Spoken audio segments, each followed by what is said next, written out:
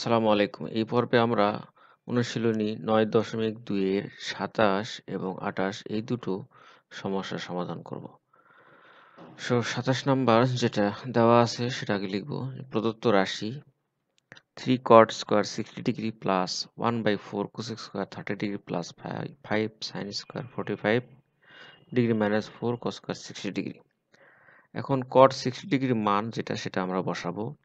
Cosec thirty degree মান এবং sign forty five এবং কস সিক্সটি ডিগ্রি মান আমরা বসিয়ে দেব। এখানে কট স্কোয়ার সিক্সটি ডিগ্রি এটা সমান আমরা লিখতে পারি cot sixty degree whole square তাহলে এখন ঝটপট আমরা মান বসিয়ে দিই।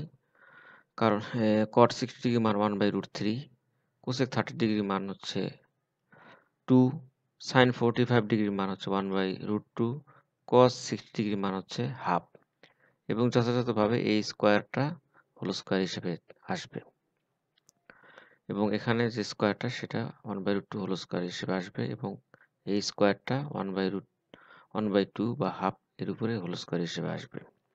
এখন আমরা জাস্ট ক্যালকুলেশন করব এখানে। এখানে ওয়ান বাই রুট থ্রিকে আমরা লিখতে পারি ওয়ান বাই থ্রি টু কে টু স্কোয়ারকে লিখতে পারি ফোর ওয়ান বাই রুট টুকে লিখতে পারি ওয়ান বাই টু বা হাফ স্কোয়ার এবং ওয়ান বাই টু বা হাফ স্কোয়ার মানে ওয়ান বাই ফোর তাহলে three into one by three plus one by four into four plus five into half minus four into one by four তাহলে three three কাটাকাটি গেল, এই four four কাটাকাটি গেল four four কাটাকাটি গেছে। এখন যেটা থাকবে one plus one plus five by two কারণ এই ফাইভ ওয়ানের সাথে এখানে গুণ অবস্থায় আছে এবং এখানে ফোর ফোর কাটা গেলে সেখানে ওয়ান থাকে।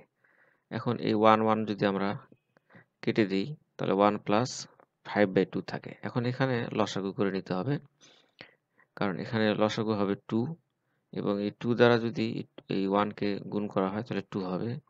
টু দ্বারা টুকে ভাগ করলে ওয়ান সেই ওয়ান দ্বারা আবার ফাইভকে গুণ করলে ফাইভই থাকে। তাহলে two plus five is equal to seven নিচে থাকে টু এটাই হচ্ছে কাঙ্ক্ষিত উত্তর। আশা করি তোমরা বুঝতে পেরেছ। এরপর আমরা আঠাশ নম্বর সমস্যাটি সমাধান করব। এখানে এটা একটা সৃজনশীল টাইপের প্রশ্ন। এখানে উদ্দীপক দেওয়া আছে ত্রিভুজ এবিসি এর পি কোণটি নাইনটি ডিগ্রি? এবি সমান পাঁচ সেন্টিমিটার বিসি সমান বারো সেন্টিমিটার। তাহলে এসি দৈর্ঘ্য নির্ণয় করতে হবে। তো শুরুতেই ফার্স্টে আমাদের ত্রিভুজটি এঁকে নিতে হবে। তাহলে উদ্দীপক হতে যেটা আমরা পাই সেটা আগে লিখব, এরপর আমরা ত্রিভুজটা আঁকবো। কারণ এবিসি একটা ত্রিভুজ হবে যেটার বি কোণটা আগে নাইনটি ডিগ্রি এঁকে নিতে হবে। এই কোণটা হবে নাইনটি ডিগ্রি বা সমকোণ। এবং এবির মান এখানে পাঁচ সেন্টিমিটার এখানে পাঁচ সেন্টিমিটার বিসির মান বারো সেন্টিমিটার তো এখানে প্রশ্ন হচ্ছে এসির দৈর্ঘ্য কত? অর্থাৎ অতিভুজ যেটা, সেই এসির দৈর্ঘ্য আমাদের নির্ণয় করতে হবে। এটা করার জন্য আমরা পিথাগোরাসের সূত্র অ্যাপ্লাই করব। এবিসি যে সমকোণী ত্রিভুজ সেই সমকোণী ত্রিভুজের এসি হচ্ছে অতিভুজ। আর পিথাগোরাসের উপর থেকে আমরা যেটা পাই যে অতিভুজের স্কোয়ার সমান সমান লম্বের স্কোয়ার যোগ ভূমির স্কোয়ার তাহলে এখানে ভূমি এবি এর মান হচ্ছে পাঁচ এবং বিসি লম্ব বিসি এর মান হচ্ছে বারো। পাঁচের স্কোয়ার মানে পঁচিশ, বারোর স্কোয়ার মানে একশো চুয়াল্লিশ।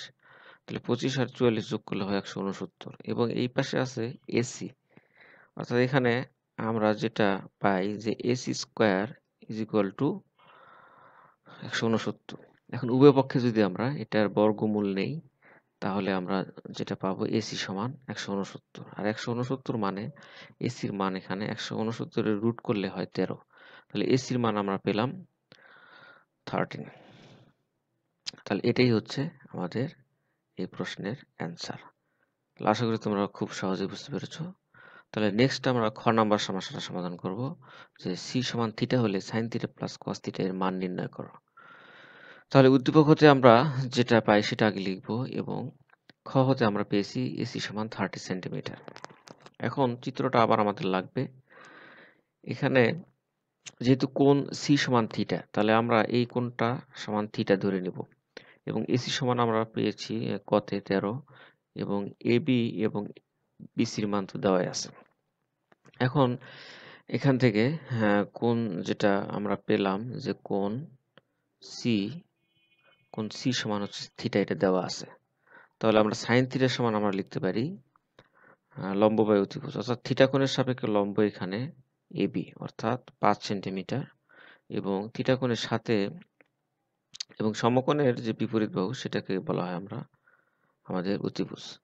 তাহলে এবি বাই এসি অর্থাৎ ফাইভ বাই থার্টিন এবং কস থিটার সমান আমরা পাবো ভূমি বাই অতিভুজ অর্থাৎ এখানে থিটার সাথে যে বাহুটা, সেটাই হলো ভূমি, অর্থাৎ বিসি অতিভুজ তো এসি এখন তাহলে মান বসায় দিলাম বারো বাই তেরো। এখন প্রদত্ত রাশি যেটা, সেটা আমরা লিখব প্রদত্ত রাশি sine theta plus cos theta এখন সাইন থিটা যে ভ্যালুটা আমরা এখানে পেলাম, এই মানটা এখানে এখন ইনপুট দিব।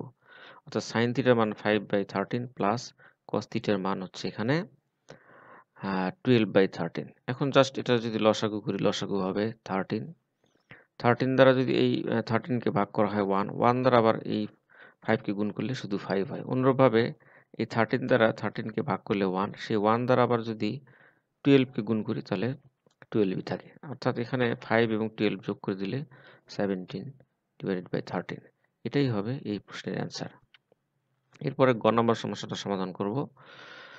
তাহলে উদ্দীপক হতে যেগুলো পাই সেগুলো আগে লিখে ফেলি এবং আমাদের যে চিত্রটা, সেই চিত্রটা এখানে লাগবে।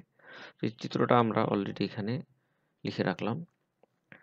এখন আমাদের সেক থিটা কোসেক থিটা এই দুটার অনুপাত আমাদের নিতে হবে। অর্থাৎ সেক থিটার সমান আমরা জানি যে অতিভুজ বাই ভূমি।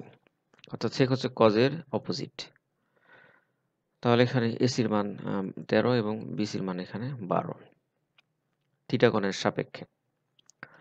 এরপরে আমাদের কোসেক থিটা নিতে হবে। কোসেক হচ্ছে সাইনের অপোজিট তাহলে কোসেক থিটা সমান এসি বাই এবি হবে। অর্থাৎ এখানে অতিভুজ বাই লম্ব হবে।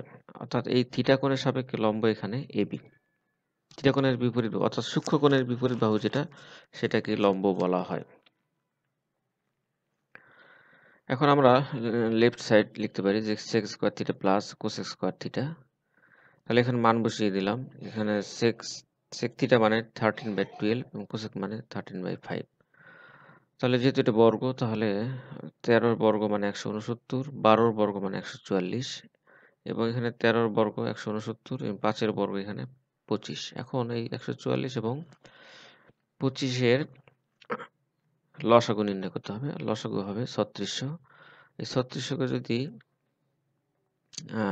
একশো চুয়াল্লিশ দ্বারা ভাগ করতে হবে, সেই ভাগফল দ্বারা আবার একশো উনসত্তরকে গুণ করে দিলে চার হাজার দুশো পঁচিশ হয়।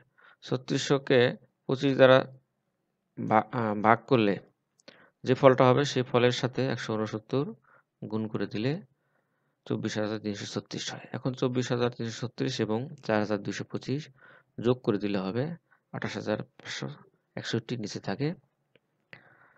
ছত্রিশশো এটা হচ্ছে লেফট সাইড এবার আমরা রাইট সাইড দেখব sec square theta into cosec square theta তাহলে এটার মান বসিয়ে দিলাম, তেরো বাই বারো এর হোল স্কোয়ার ইন্টু তেরো বাই পাঁচ এর হোল স্কোয়ার অর্থাৎ এটা ক্যালকুলেশন করলে যেটা হবে, একশো উনসত্তর বাই একশো চুয়াল্লিশ এবং একশো উনসত্তর বাই পঁচিশ। এখন একশো উনসত্তর এবং পঁচিশ যেহেতু গুণ অবস্থা আছে, তাহলে হর হর গুণ করে, লব লব গুণ করে যা পাওয়া যাবে সেটা ঠিক এই যে এই অংশটার মতো। তাহলে এটাই হবে রাইট সাইড অর্থাৎ left side is equal to right side প্রমাণিত।